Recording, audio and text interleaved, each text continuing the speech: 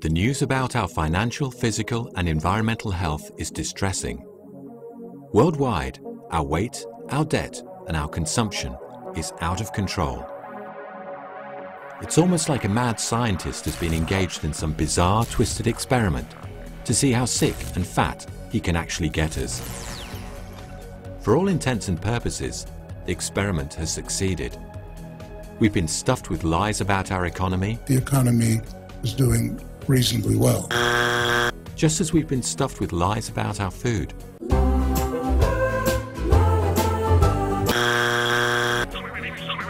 Our information is processed for us. Our food is processed for us. We've become processed people. So we have to ask ourselves, how did we get here? And what can we do?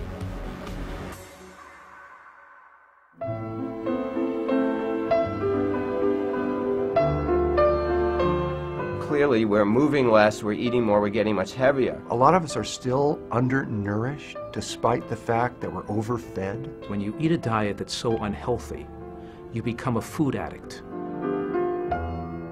People are fat because they eat like kings and queens. They eat like aristocrats of old. I used to see health as the opposite of disease, and I don't do that any longer. I think of health as our natural state. Medical profession right now is doing what? We're feasting on selling disease.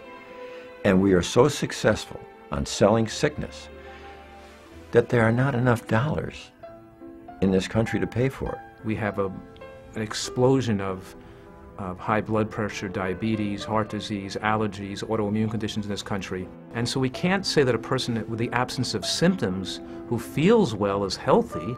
Could that be good health if you feel well and then develop cancer five years from now? Were you really healthy five years when you had before when you had no symptoms?